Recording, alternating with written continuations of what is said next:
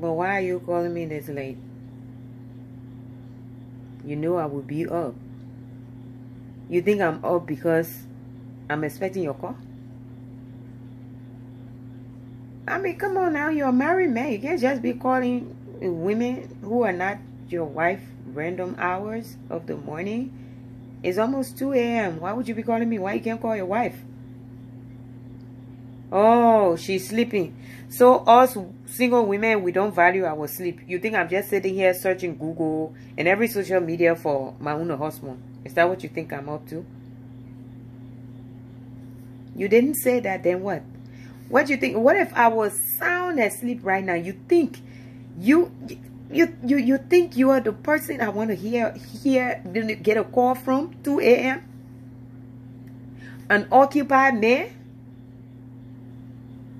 A man a man who belongs to another woman, a family man, or married man?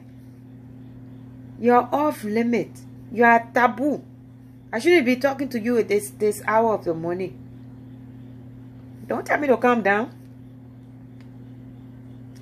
And what kind of friendship is this? What kind of friendship is this? Your wife sleeping. She enjoying her sleep. Then you call me. You call me to, to disturb my, my, my morning. I got something serious to handle here. And what if I was here with my boyfriend? Then you want to uh, disturb my own uh, relationship too? You're supposed to call your wife. Call your wife. Whether she's sleeping or not, wake her butt up. Let her talk to you. If you're that bored you have to talk to somebody, you're supposed to talk to your wife. Call her. Call her 50 times. If she doesn't answer, get excuse from your supervisor. Go see. She may be cheating on you. But no, you say she's sleeping. You sure your wife sleeping? You sure your wife sleeping? Yeah. You just get up and say your wife sleeping, then you call me. If she's not answering her phone, you're supposed to be suspicious. You're supposed to be suspicious. Take excuse and go home. I bet you she will be tossing, and rolling all over the place with another dude in your bed. Ah, let me tell you something. I don't think that about your wife. But because you are such a married man who don't keep your zipper close, who don't keep your pants zipped up for just your wife, I'm sure she might be doing her own too. I might she, she she might be just doing hers.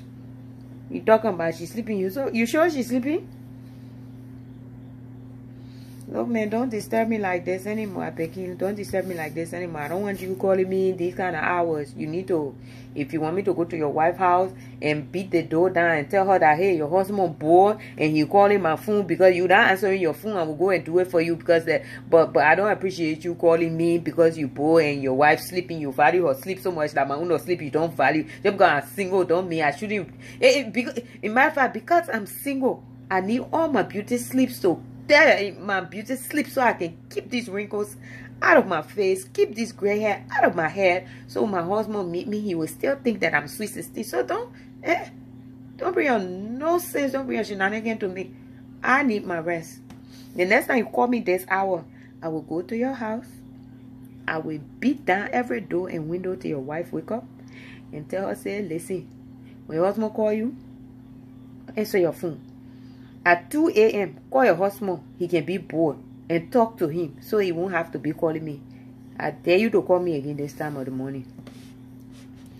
I'm for real. I'm not playing with you. I dare you. I dare you to call me this time of the morning again.